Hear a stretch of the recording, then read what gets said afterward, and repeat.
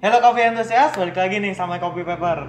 Kali ini kita mau review kettle saingannya Brewista yang kemarin, kettle Velo. Kettle seharga 2,7 juta.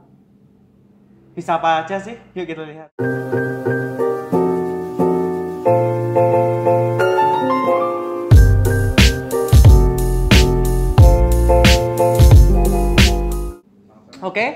Kettle Velo yang ini berbentuknya sangat jauh ya dari Brewista yang kemarin ya.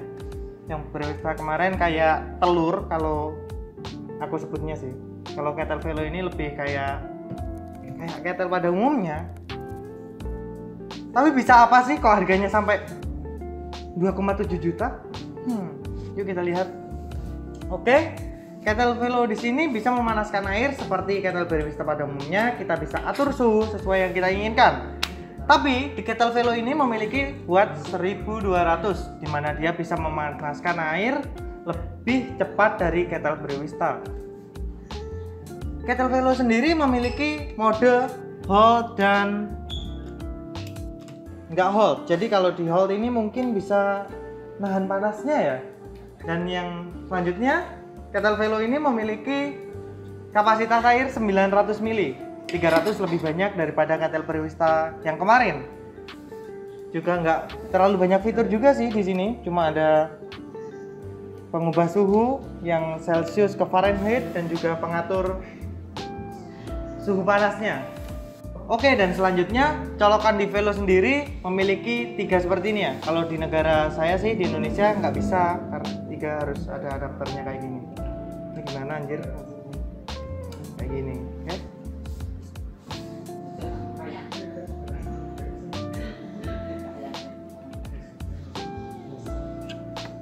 oke? Selanjutnya Coffee Enthusiast kita akan mengoperasikan kettle Velo ini. Gimana sih cara kerjanya dan tombol-tombol apa saja yang bisa kita gunakan untuk mengoperasikan kettle Velo ini?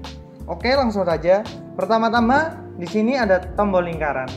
Tombol lingkaran ini berfungsi untuk mengatur suhu antara suhu 93, 25 tergantung kita. Selain untuk mengatur suhu, ini juga untuk menyalakan dengan cara dipencet seperti ini. Wih, ada notifnya di sini. Here. Velo gitu. Nah, sekarang kita atur suhu ke 93 derajat Celcius. Oke.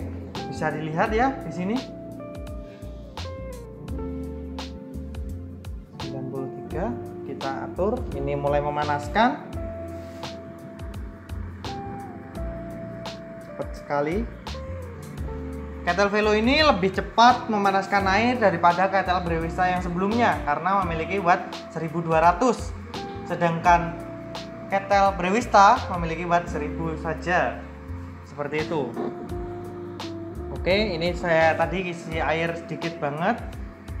Agar cepat juga ya. Agar cepat sampai mana sih?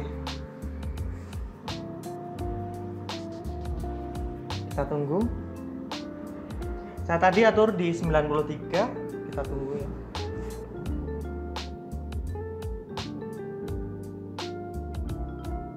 Oke ini udah 93 dan ada notifnya hold. Nggak tahu ini notif hold ini untuk apa ya? Saya nggak tahu.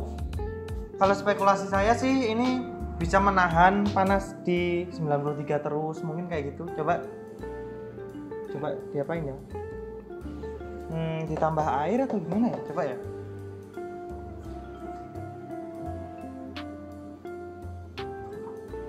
coba tambah air langsung. Ini juga pembukanya lebih ringan daripada yang kemarin.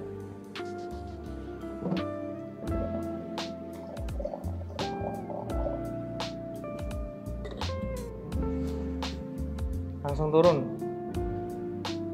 Langsung manasin lagi. Iya sih kayaknya ini buat nahan suhu agar tetap di 93 terus gitu. Tombolnya ada di belakang sini.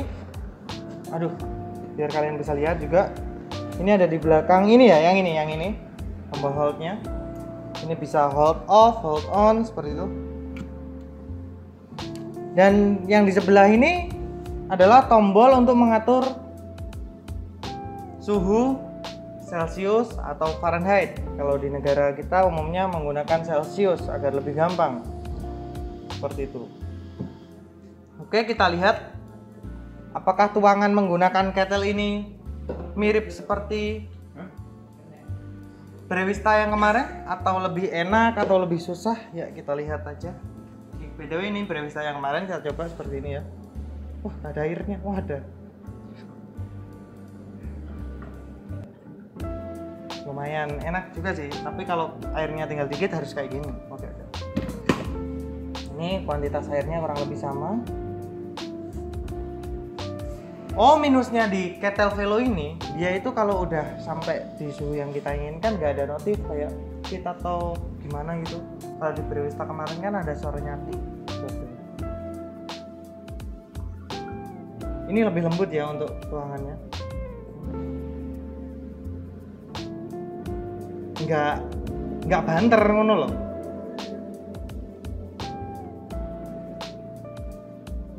Kebeken ya wes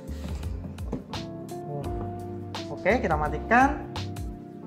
Oke, kesimpulannya kettle velo ini bisa mengatur suhu sesuai yang kita inginkan seperti kettle Brewista kemarin, tapi dia memiliki kelebihan yaitu bisa menahan suhunya. Sedangkan kettle Brewista kemarin tidak bisa dan minusnya nggak ada notif. Nggak ada notif dari kettlenya kalau udah di 93 derajat seperti itu.